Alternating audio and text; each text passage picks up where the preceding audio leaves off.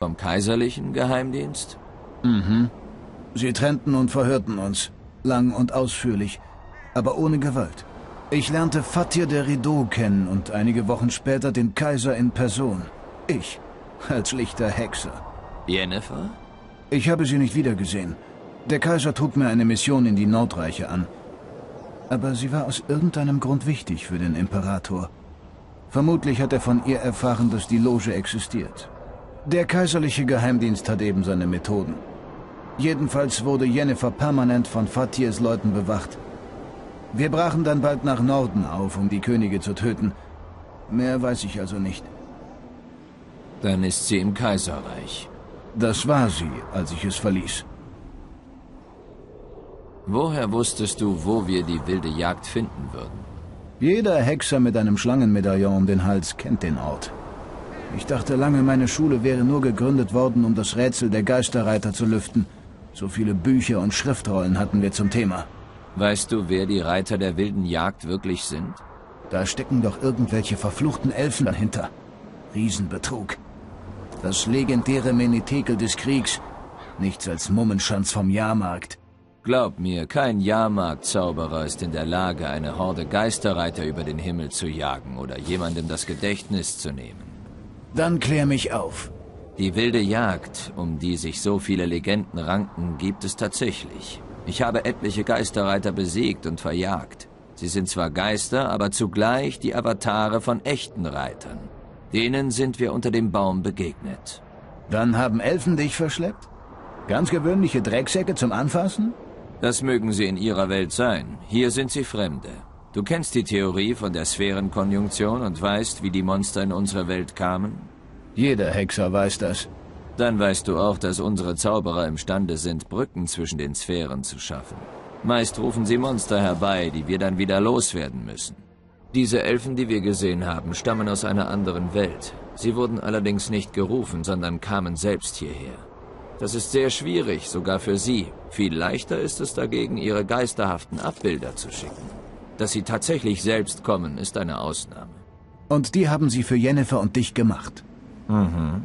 Elfen aus einer anderen Welt und deren dressierte Geister. Was wollten sie von dir? Das geht dich nichts an. Warum arbeitest du für Nilfgaard? Ich arbeite für den Kaiser, Gerald. Das ist kein gewöhnlicher Mensch. Kein Herrscher des Nordens kann ihm das Wasser reichen. Aber warum? Er will die Schlangenschule wieder aufbauen. Den Hexerorden, der mich ausgebildet hat. Die Hexerschulen im Süden sind vor langer Zeit untergegangen. Und die Hexer waren Geächtete, die man in die meisten Städte nicht hineinließ. Außer Egan und Seret gibt es noch zwei Hexer von der Schlangenschule. Ich habe sie seit Jahren nicht gesehen und weiß nicht, wo sie sind. Jetzt brauchen sie sich nicht mehr zu verstecken und können nach Hause zurückkehren. Warum hast du mich erwartet? Weil ich wusste, dass du mich nicht ziehen lässt. Ich hatte nicht vor, mich jagen zu lassen. Du kennst jetzt die Wahrheit. Außer dir nur noch ein paar, deren Wort nichts mehr zählt. Ich habe dich nie als meinen Feind betrachtet. Ich will nur meiner Wege gehen. Wenn ich gegen dich kämpfen muss, dann soll's wohl so sein. Aber diese Geschichte endet hier und jetzt. Worum ging es denn nun eigentlich? Darum, die nördlichen Herrscher zu töten. Den Zauberinnen die Schuld zu geben, Chaos zu stiften, den Norden auf die Invasion vorzubereiten. Und weißt du was? Es lief wie am Schnürchen. Krieg oder nicht. Zauberer und Könige werden sich noch lange beschuldigen und bekämpfen und aneinander rächen. Der Norden ist ein brennendes Bordell, wie dein Freund Rittersporn zu sagen pflegt.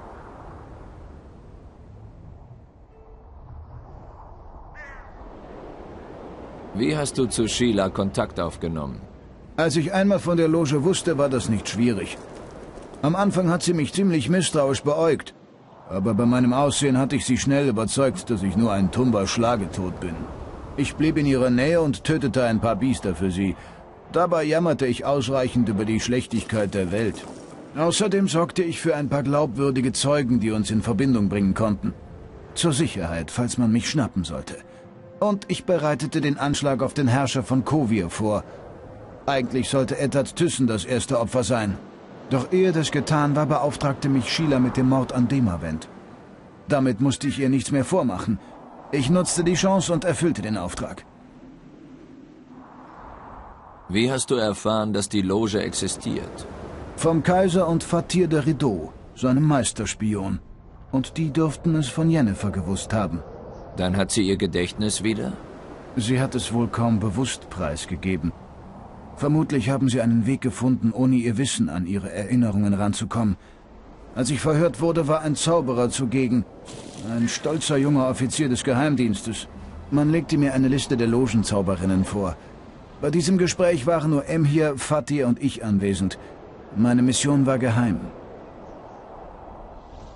Wie hast du es geschafft, Demavent zu töten? Sheilas Zauberkunst. Wir kannten jeden seiner Schritte, die Gewohnheiten seiner Wachen. Wir wussten alles. Sheila stellte genug Gold für Vorbereitungen und Schmiergelder bereit. Eigentlich musste ich nur noch den entscheidenden Schlag ausführen, aber das klingt einfacher, als es war. Wir sind den Verfolgern nur knapp entkommen. Ohne Jorvets Goyatel hätten wir das nicht geschafft. Sheila hat sich keinen Gefallen getan mit der Empfehlung. So konnten wir nicht nur Demavent töten, sondern uns auch noch dem Zugriff der Loge entziehen und die Anschläge auf Volltest und Henselt vorbereiten. Woher wusstest du, dass Foltest in die Einsiedelei kommen würde? Der Plan zu seiner Ermordung stammt von Jorvit und mir. Foltest hatte keinen Hehl daraus gemacht, dass er mit den Lavalettes abrechnen würde. Ich wusste, dass er seine Bankerte wollte. Und wo versteckt man Kinder während einer Belagerung am besten? Ich musste zu einem Mönch werden. Aber in ein Kloster zu gehen und zu sagen, ich hätte eine Offenbarung gehabt, das wäre unglaubwürdig gewesen. Darum stieß ein Trupp von Aryan eines Tages auf eine Gruppe Eichhörnchen, die einen wehrlosen Mönch folterten. Die edlen Krieger vertrieben die Elfen, und ich fand Zuflucht im Kloster. Ist denn niemandem aufgefallen, dass du nicht verletzt warst? Der Mönch, der mich heilen wollte, schwieg für einen Batzen Orens. Ein Darlehen. Denn später brachte ich ihn um. Tote bewahren Geheimnisse besser. Und dann wartete ich ab. Als ich sah, wie du mit Foltest in die Einsiedelei kamst, war ich nicht sicher, ob der Plan aufgehen würde. Doch zum Glück hast du deinen alten Gefährten nicht erkannt. Wann hast du beschlossen, Jorvet loszuwerden? Als ich gemerkt habe, dass ich ihn nicht manipulieren konnte. Sein Scharfsinn macht ihn gefährlich. Er hätte mich jeden Augenblick durchschauen können. Ein Fehler. Unter dem Schutz der Skoyatel warst du unberührbar. Aber auch handlungsunfähig. Hätte ich Kiaran erledigt. Hast du aber nicht. So konnte ich Jorvet gegen dich aufbringen und dich zur Flucht zwingen. Denk daran, ich hätte auch dich töten können. Aber ich tat es nicht. Ich weiß. Du warst der Grund dafür, dass Sheila in Flotsam war. In der Tat. Sie wollte mich beseitigen, ging allerdings davon aus, die Situation unter Kontrolle zu haben. Sicher dachte sie, ich wäre verrückt geworden oder von Jorvet gelenkt. Derweil der Norden immer tiefer im Chaos versank. Genau. Du warst mein größtes Problem. Ich hätte dich töten können.